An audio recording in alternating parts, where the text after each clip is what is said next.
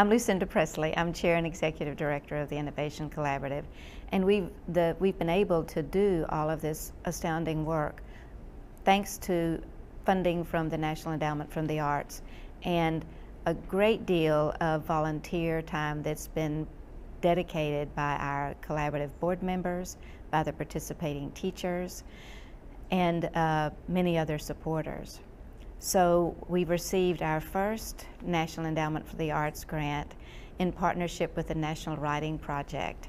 And for that, we brought in our research thought leaders, which is a, the thought leaders are a leader from each discipline that are leading researchers in their own field.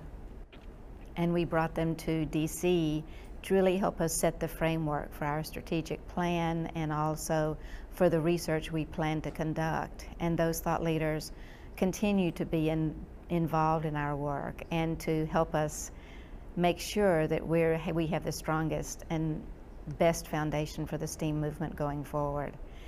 And the other three grants in 2017, 2018, and 2019 have been from the National Endowment for the Arts that have been uh, helping us, that have helped us develop our K-12 effective practices projects. And these are the projects that our teachers have used to really help us learn what effective practices in classroom implementation and also teacher professional development are.